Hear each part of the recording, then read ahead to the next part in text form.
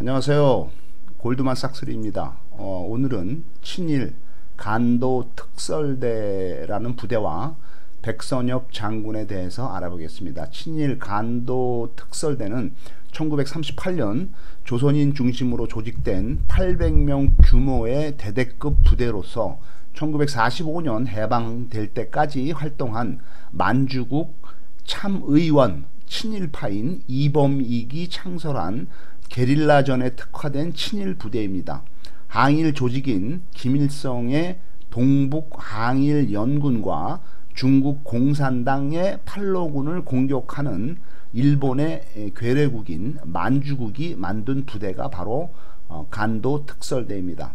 어, 백선엽 장군은 1920년 어, 출생한 백선엽 장군은 1941년 21살 때 만주국 육군 군관학교를 졸업을 하고 1943년 23살 때 만주국 중위로서 간도 특설대에 친일부대 간도 특설대에 3년간 근무를 하게 됩니다. 1945년 25살 때 해방이 되자마자 북조선으로 내려와서 조만식 선생님의 비서가 됩니다. 조만식 선생님은 1883년에 태어나서 해방 당시에 이미 62세의 고령으로 북조선의 건국 준비위원장이 되었습니다. 오산학교 교장하고 신간회를 주관한 독립운동가로 조선의 간디라고도 불리웁니다.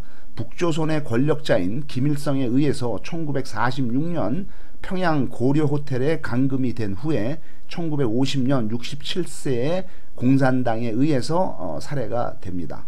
1946년에 백선엽 장군이 26살 때 조만식이 조만식 선생님이 김일성에게 숙청이 되자 아, 백선엽은 남하해서 월남해서 미 군정하에 남조선 국방경비대를 하게 됩니다. 1948년 28살 때 오연대장을 하면서 대령이 되어서 육군본부 정보국장을 하게 됩니다.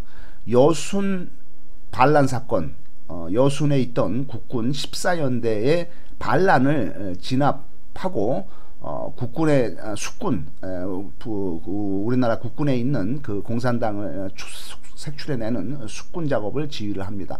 사형 선고를 받은 박정희의 재능을 아깝게 생각해서 박정희를 공산당에서부터 어, 어, 전향을 권고를 하고 구명운동을 하게 됩니다. 박정희가 1917년생이니까 백선엽보다도 3살이 많고 당시 이미 박정희는 31살이고 백선엽은 28살에 아, 오연대장 대령이었던 것입니다. 아, 이후 백선엽은 지리산 빨치산 운동에 빨치산 토벌에 전념을 하고 해방 후에 반민 특위 해방 후 반민 특위의 친일파 총산이 실패가 되면서 일본과 만주국에 있던 군인들과 경찰들이 국군과 경찰의 지도부가 되게 됩니다. 백선엽은 해방 후에 6.25 전쟁을 지내면서 승승장구 군에서 출세를 하고 6.25 전쟁 때는 참모총장을 하게 됩니다. 6.25 후에도 참모총장을 한 번 더 하고 1960년대 들어와서는 40세에 전역을 해서 퇴역을 해서 민간인의 민간인이 돼서 어, 대사를 하거나 해외 대사를 하거나 장관 등의 고위 공무원을 하게 되고 50대 때에는 어, 민간 기업의 사장이나 회장을 하게 됩니다. 1949년 29살 때 5사단장을 하고 1950년 30살 때 제1사단장 1952년 32살 때 어, 6.25 전쟁이 한참이죠. 이때 육군 참모총장을 하게 되고 1953년 33살 때 육군 대장 1957년 37살 때 6.25가 끝난 지 한 3, 4년 후에도 다시 한번 37살 때 육군 참모총장을 하게 됩니다. 1960년 40살 때 퇴역을 해서 1961년 41살 때 중화민국 어, 대만이죠. 대만의 대사를 하게 됩니다. 1965년 45살 때 프랑스와 캐나다의 대사를 하게 되고 1969년 49살 때 교통부 장관을 하게 됩니다.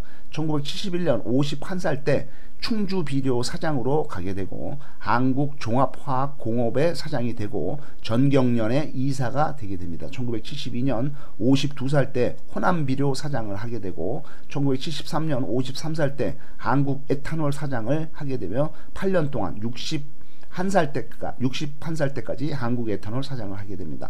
1975년 55살 때 비료공업협회 회장을 하게 되고 1979년 59살 때에는 정계를 은퇴를 하게 됩니다. 1981년 61살 때는 선인재단의 이사장을 사퇴를 하면서 어, 공직에서 대부분 물러나게 됩니다.